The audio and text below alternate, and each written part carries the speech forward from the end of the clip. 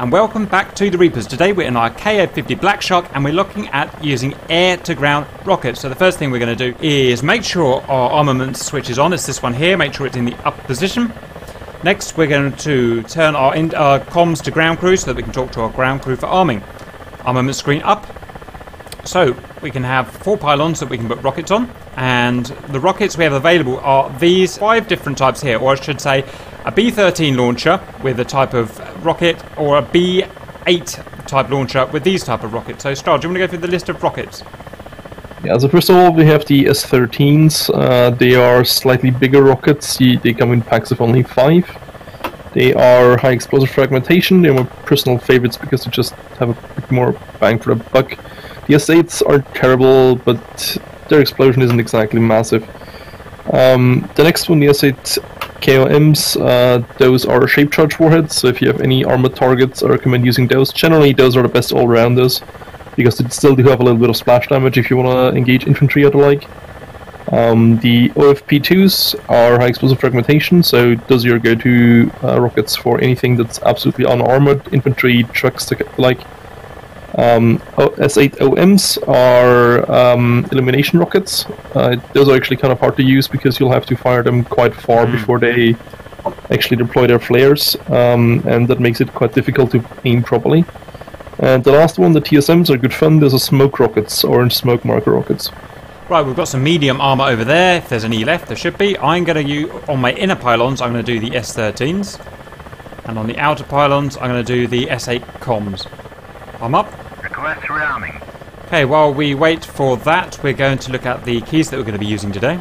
As well as firing the weapon and selecting the weapons, we also need to be able to use our Shkval to lock onto targets. So there's a lot of keys we're going to be using today. First of all, to fire the weapons, weapon release. To select the pylons for usage, just out of uh, general information, we have outward stations, inward stations, and we could have all stations there. To control the Shkval, we've got target lock, Shkval uncage, Shkval reset, and we've got Shkval slew up, left, down, right, and as ever, we've got the trimmer. Okay, so they're armed up now. We're going to have a quick look at the armament panel before we set off. We've got our master arm here. We've got our burst selector here. If we're on short, then we will fire per press of the weapons release button, one rocket per pod selected. Medium will fire a quarter of the rockets in that pod selected, and long here will fire half the amount of rockets in that pod. And we've got our ammo counter and our ordnance, our pylon selected here. Nothing is selected at the moment. We'll show that when we get there. So we're going to deploy these rockets in two different ways. One is from kind of long range sniping using our sh- here to lock targets and to range them, and the other is we'll be firing off the bore sight essentially running in close to the target. So we'll try the long range first of all. So I'm going to take off and set myself about a kilometre away from the target. Okay, so I've got my flight director in. I'm closing in on the target. So I'm going to uncage my Shkval. I'm going to aim it towards the vehicles in question. Add a little more altitude. Laser, laser range finding on. Highlight one of the vehicles. One. There we go, that is a live vehicle. I have an active laser of 1.7 kilometers, uh, so I've got my armament on there. I need to select my inner pylons, which I'm going to do now. That's my inner pylons selected. I've got 10 of them selected.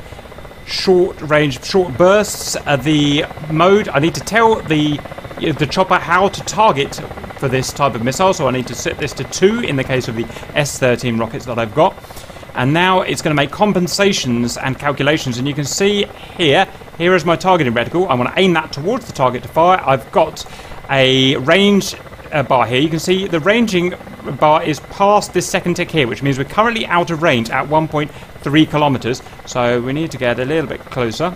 And when it's within the two markers marker 1 and marker 2 then um, we'll be in within range to fire. So as we close in we'll get within range to fire and so this is um, compensating for ballistics, isn't it? Yeah, I mean it will otherwise as well, but it will be kind of more of an estimate. This is more accurate because otherwise it's not entirely sure what the range is that you're firing at. Okay, we are now just about within range. We're going to give it a shot, see what happens. Boom! We got him. We actually got him. Beautiful. Pretty happy with that. And why don't we see if we can lock another guy here for the lols of it. So we're going to get this chap here. Press the target lock. It's made necessary calculations. 0.7 clicks away, in range, and...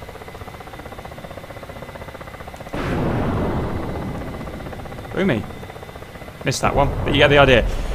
So that's using uh, computer calculation to calculate the trajectory. Now we're going to try just shooting off the bore sight. So to do that, I'm going to turn off the Shkval, I'm going to reset the Shkval, I'm going to turn back on the pylon. There we go. And we're just going to be using this um, this Pipper here. Now this doesn't have any time for computation, it's just uh, dead aimed basically, so I can just aim wherever I want and kapow. And I'll have to uh, put my own lead. Oops, I didn't realise they were alive, but never mind. Gave them a nasty shock. And there we go. Out of ammo. Zero on the ammo counter. Now let's change to the outer pylons. Am I right in saying that the outer pylons, the S8, we could also do the ballistics firing for? Uh, the uh, computer calculation? Uh, yes, you can do it for any, any rocket, but you will for those have to uh, select a different setting on the ballistics. That'll be zero, won't it, for them? For the KOMs it will be zero, for the smoke rockets, the TSMs it will be one. Roger. I'm just going to use these in. What I'm just going to show is salvo nose. So now I'm going to go to long burst, and I'm going to come in and just put a long burst of them in there.